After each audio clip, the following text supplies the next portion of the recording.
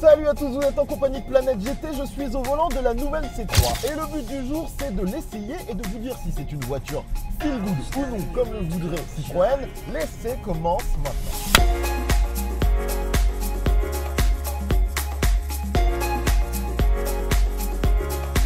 Qui dit nouvelle génération dit nouveau style. Et c'est vrai que sur cette nouvelle C3, encore une fois, Citroën joue la carte de l'audace. Et on est très proche de ce qu'ils ont fait avec le Cactus. Et j'avoue que c'est risqué. Est-ce que c'est le bon choix? Je ne sais pas trop.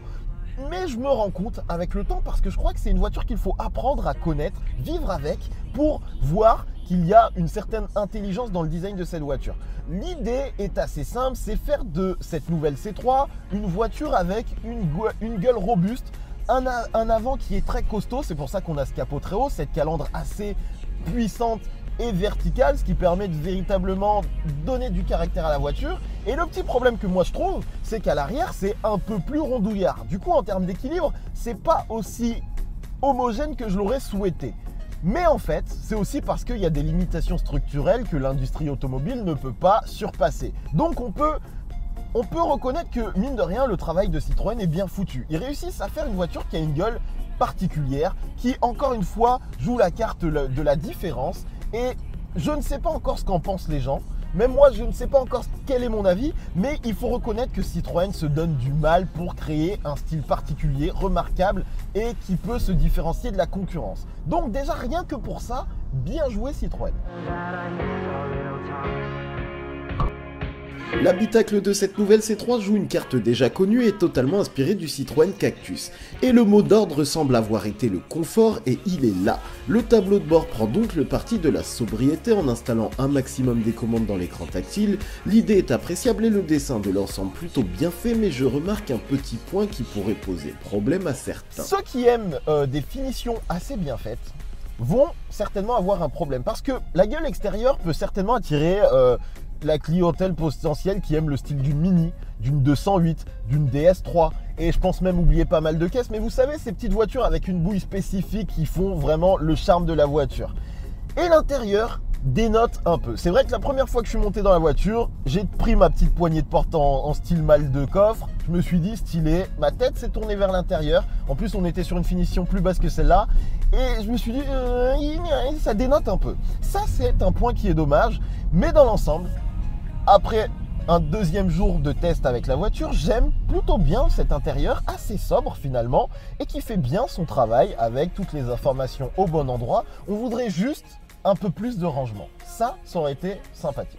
Il est vrai que j'aurais souhaité un peu plus de rangement dans la voiture, mais on notera tout de même la grande boîte à gants et les vides-poches conséquents. Et surtout, il y a de la place et du confort pour les passagers à l'avant comme à l'arrière, et pour une voiture de moins de 4 mètres, c'est toujours plaisant. Il faut aussi noter que chez Citroën, le mot d'ordre de cette nouvelle C3, c'était la technologie. Et là, je suis quand même un petit peu moins d'accord parce que bon, la communication de la Citroën actuellement se base sur la Connected Cam, qui est une petite caméra de sécurité qui est placée derrière votre rétroviseur et qui vous permet à tout instant de filmer la route. Et par exemple, si vous avez un accident, ça va enregistrer 30 secondes avant l'accident et une minute après l'accident. C'est super sympa.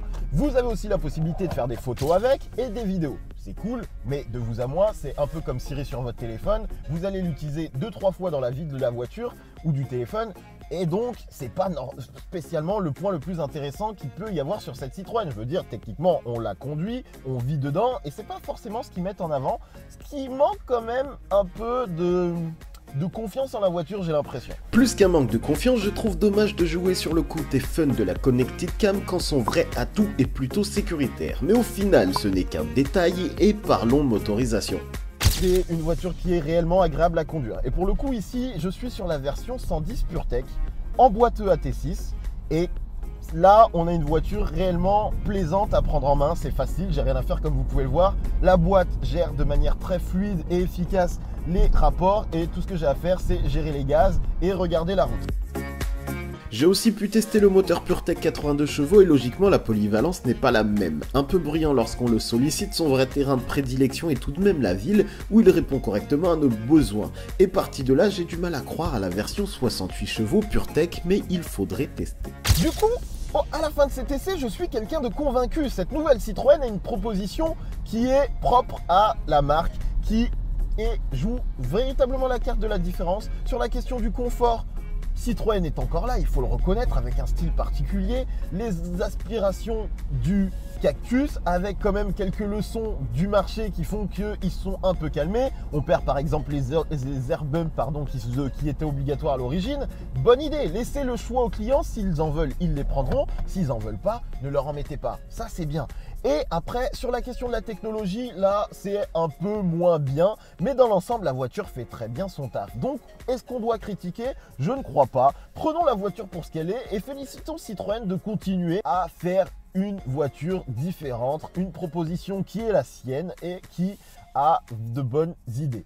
Je crois que c'est ce que je peux vous dire. Je vous recommande, si vous le souhaitez et si le style extérieur vous plaît, de jeter un œil à cette voiture. Je crois vous avoir donné toutes les informations nécessaires. Si vous avez des questions à poser, bien évidemment, c'est dans les commentaires. Vous pouvez nous suivre sur YouTube, donc abonnez-vous. Et le feu est vert, je repars. Salut à tous.